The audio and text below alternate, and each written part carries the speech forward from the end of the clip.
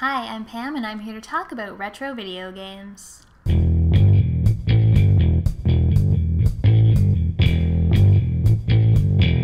So today I thought I would make a list video because who doesn't love lists? It's my top 5 games on the PlayStation 1.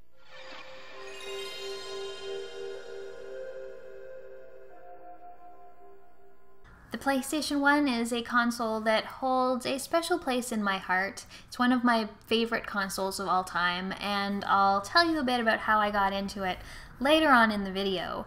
But uh, I thought I'd just share my top five games. These aren't necessarily the best games on the console, these are just the ones that um, have the best memories for me and are the most important to me. So, getting started, my first pick is Gran Turismo.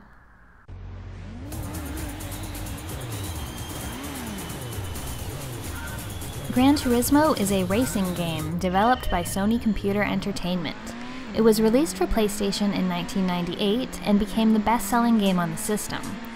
The game offers two modes a basic arcade mode, which allows players to compete in a single race, and simulation mode, which was my favorite one, which was a larger scale competition where you could earn credits and prizes by winning multi race championships. Oh god, I haven't played this game in so long. Please don't watch my embarrassing game footage. Now, when Gran Turismo came out, or at least when I got the game, it was around the time I was first getting my driver's license. So I was particularly interested in cars and driving. Um, I'm less interested in racing games now as I drive all the time. But uh, at this time, this game was super interesting to me and really held my attention. It taught me a little bit about cars. I really liked that there was a licensing system in the game, so you had to get certain licenses in order to race on different tracks. Uh, the soundtrack also particularly stands out in my memory. I know it featured Garbage, who is a band that I was super into at the time. Although I remember that the soundtrack wasn't overly long, it was only 12 or 13 songs, which could get repetitive considering how much time you could sink into that game. And I did definitely play a lot of Gran Turismo when I was young. It was a bit hard when making this list, not just to list five JRPGs. This is the console that introduced me to them, and there are a ton of strong ones on it. But my second pick is Star Ocean Second Story. Star Ocean Second Story was developed by Tri-Ace and released for PlayStation in 1999. Though it's the second in the Star Ocean series, it was the first to be released in North America. It follows the story of Claude Kenny, an ensign in the Earth Federation, something that seems to borrow heavily from Star Trek, and Rena Lanford, a young woman on the technologically primitive planet he travels to. It's your general save the world fantasy fare, but it really stands out due to its active combat system where you can control a party of four players, its great crafting, and private actions that let you build relationships with the other people in your party. It's also got a killer soundtrack. I can't even remember exactly where I got Star Ocean or under what circumstances or even how I heard of it, but it turned out to be one of my favorite JRPGs of all time. Uh, a couple things that really stood out to me are that there was two different protagonists that you could choose between. Uh, one was male and one was female, and depending on which one you chose, the game events you experienced were a little bit different. You could recruit different party members based on who you were playing, so it offered a little bit of uh, replayability that way because there was always something new to discover. Uh, the game has a really cool crafting system that I really liked. It has what's basically an Iron Chef tournament inside of it, which I thought was amazing. Um, and another thing is that there are these things called private actions, where when you go into a town, you can um, talk to your companions privately. Like they all go off and do their own thing rather than everyone being together. So you have these little uh, private conversations with your companions and you can sort of build relationships and friendships with them and get to know them more. And overall, this was just a really, really charming, really fun game. There was, uh, it was quite deep. It took quite a long time to play. Um, just between all the little things, there was pickpocketing, pocketing, there was always someone to talk to, there was always little secrets to figure out. Um, it was just a lot of fun, and uh, to this day, I think it still holds up, especially visually, since they use sprites for the characters rather than polygons. So the next game on my list is a platformer, and since there are a number of good platformers on the PlayStation, it took a little bit of thinking to decide which one I wanted to include. I really like Crash Bandicoot, I really like Spyro the Dragon.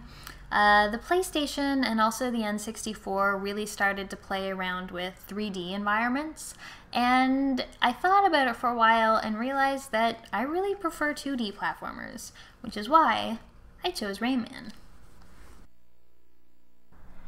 Rayman was developed by Ubisoft and released in 1995 as one of the launch titles for the PlayStation, though it was not an exclusive.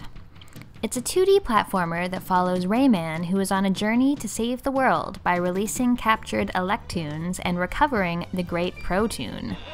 As he progresses through levels, he is granted new abilities.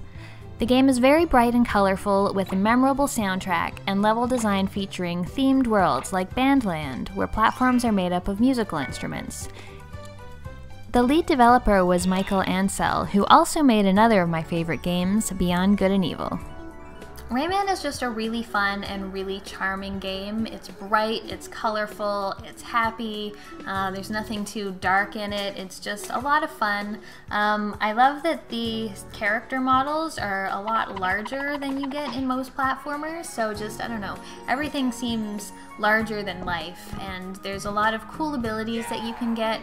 I seem to remember that when you start as Rayman, you can't use your feet or your hands, and you, you gain the abilities as you go through the game, which I always thought was pretty funny. And another thing about Rayman is that it's a series that to this day is still going strong.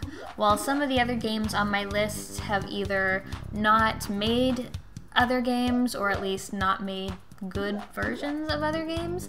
Uh, the last Rayman that came out was excellent, so I'm happy to see that's a character and a game series that's still kicking around. So I'm dipping back into the JRPGs for the next one, although this one is more of a hybrid, sort of JRPG, action, horror. It's Parasite Eve. Parasite Eve was developed by Square and released in 1998. It lets you play as New York City police officer, Aya Brea, who is trying to catch a woman who can make humans spontaneously combust. Aya, for a mysterious reason she needs to figure out, is immune to this. The game, which is based on a novel, plays around with the idea of mitochondria evolving and taking over the rest of the body. The game takes us through a number of New York landmarks and employs a very fun action role playing combat system that's one of the most interesting I've played. So I remember when I got Parasite Eve, it was for Christmas one year, and because we were having family over to my house, I couldn't really play it because I had to, you know, be social and all that. So instead, I just left the opening cinematic looping on the television all day. I was just enthralled with this. It was so beautiful. I still think it looks pretty good. It was just really exciting. It had good music. The characters looked pretty good. Um, it was something that just sort of sticks in my memory. The thought of just watching that cinematic over and over and over all day. I'm sure everyone was really pissed off with me by the end of Christmas, but I was so happy when I finally got to play it. And it is a really, really fun game. I think that the mechanics, the sort, the sort of more action-oriented RPG really worked well and I was just playing this game sometime last year and I still find it a lot of fun to play though the polygons and the characters don't look very good, the actual uh, core gameplay and the story and everything is still great. Okay, so the last game on my list, it's not the best game on the system, it's not my favorite game on the system, and it's definitely not the one that holds up the most, especially not visually. However, it is the reason I got a PlayStation 1 in the first place. It's Final Fantasy VII.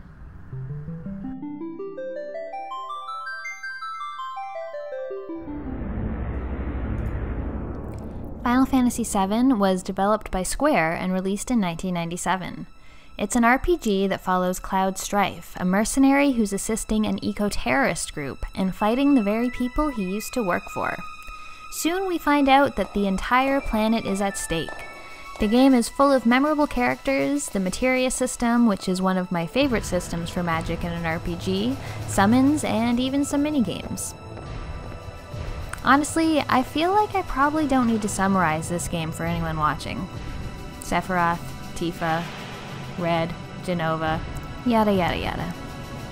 So I'm sure many people in my age group have a similar story about Final Fantasy VII, but uh, what got me into it was the television commercial that they had for it. And I remember seeing that and just thinking like, wow, can a game really do that?